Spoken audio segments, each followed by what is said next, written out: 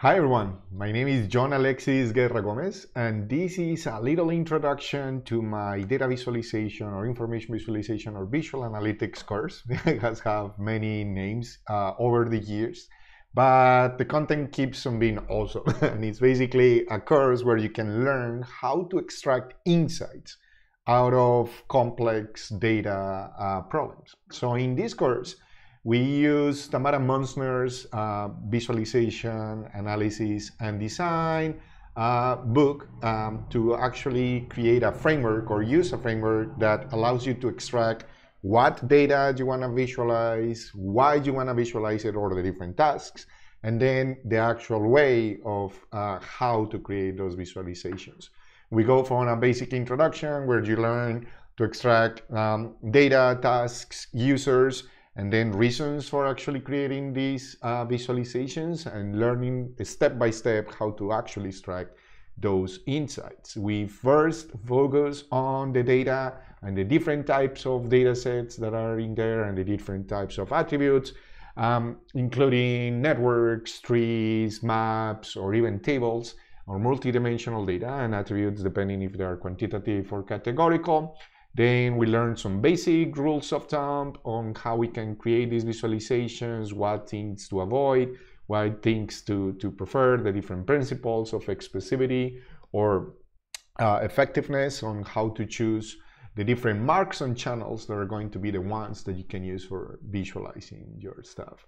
So um, then we go into the different types of data sets, starting first with how to arrange tables or distribute tables on screen, how to create visualizations for temporal data. That is one that is not covered that much in the book, that, uh, that we focus a lot in, in the class.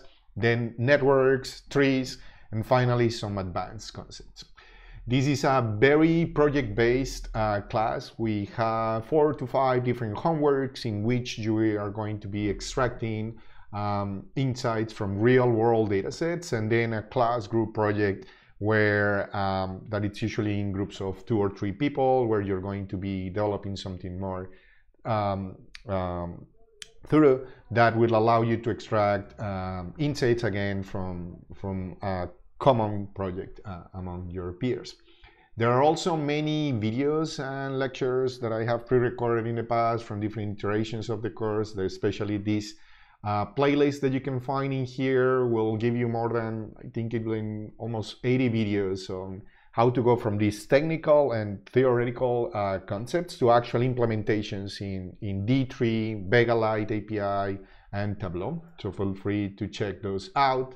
And then finally, for ideas or the different types of projects people built on this, always check the homework submissions for uh, each one of the semesters. Here are some of the ones of the current semester when I'm teaching this. And then if you go to my website, that is johnguerra.co, just go to the classes link and then you're going to have different iterations of that in the past. For instance, here is um, some of the versions that I have taught it at UC Berkeley or when I was teaching it and visual analytics as visual analytics in Los Andes, and then you're always going to find different projects that are going to help you as inspiration and knowing what are the type of things that we do develop in this class. So um, this is one of my favorite classes. It includes many different uh, concepts and it focuses on this idea of extracting insights. So if you are interested and are willing to spend a lot of hours and working on these concepts and mastering these skills, I guarantee you that you're going to come up um,